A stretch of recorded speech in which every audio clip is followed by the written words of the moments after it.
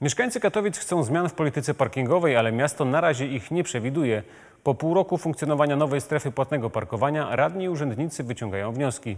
Problem w tym, że brakuje danych, bez których trudno stwierdzić, czy rozszerzenie strefy i podniesienie stawki przyniosło pożądany efekt. Łukasz Kądziołka.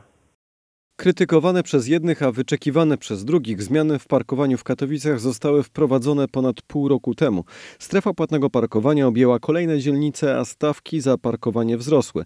Pierwszym momencie samochodów było na ulicach zdecydowanie mniej. Tak wyglądało to na początku grudnia 2023 roku. Jednak teraz wszystko wróciło do normy. Jak wynika z danych, do centrum Katowic wjeżdża nadal ponad 1 700 tysięcy samochodów w ciągu miesiąca. Kamery, które rejestrują wjazdy i wyjazdy, nie zawsze są w stanie odzwierciedlić w 100% ilość samochodów, tych samych wjeżdżających i wyjeżdżających, ze względu na to, że są pewne wloty i wloty, które nie są kamerowane. Dla mieszkańców to oznacza mniej więcej tyle, że niewiele się zmieniło, choć zmiany w parkowaniu zakładały m.in. ograniczenie ruchu pojazdów w centrum miasta. Wjeżdża tam tyle samo samochodów, co wjeżdżało przez strefą, no się one podziewają? E, No to podziewają się na podwórkach.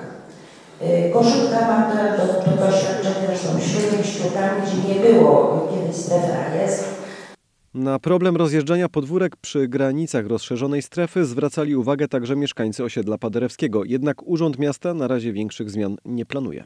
Zmiany te strategiczne, to jak opisaliśmy tam dotyczą zmian granic, strefy godzin i tak dalej, tak będziemy chcieli e, poprzedzić badaniami e, parkingowymi. Tyle, że badań, które planowała Metropolia na razie nie będzie. Firma, która miała je przeprowadzić, nie podpisała umowy z GZM.